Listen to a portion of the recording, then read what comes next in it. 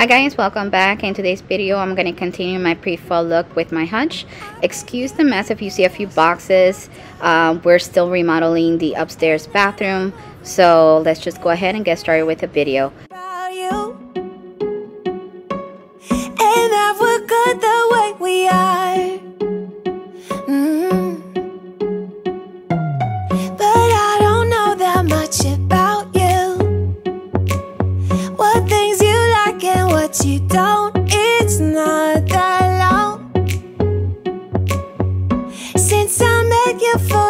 First time. Mm. You know we should work it out. You know we should work it out. Before I'm too invested,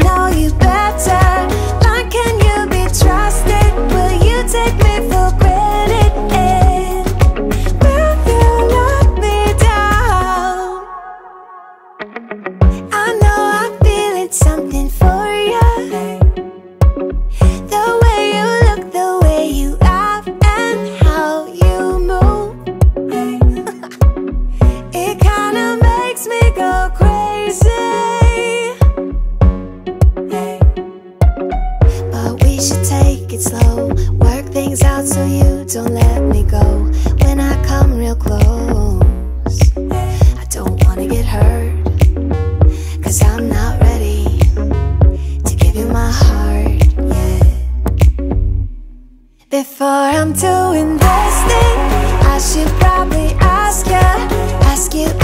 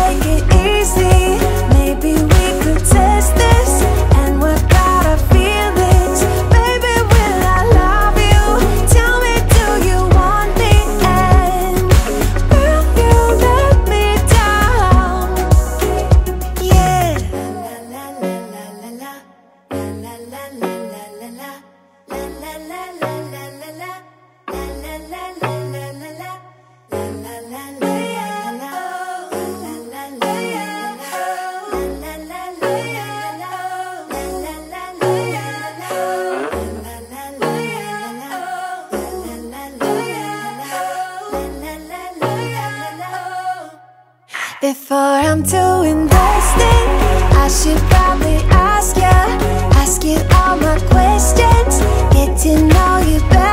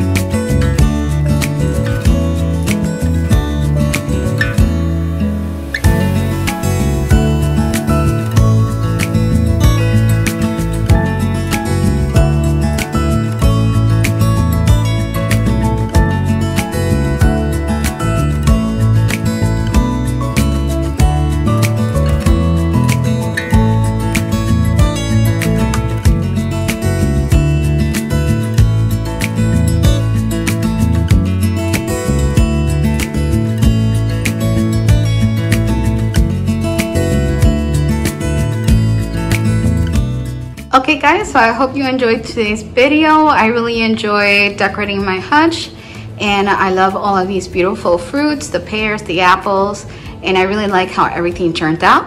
So please subscribe, like, and hit the little bell for future notifications, and I'll see you guys next Sunday. Thank you. Bye.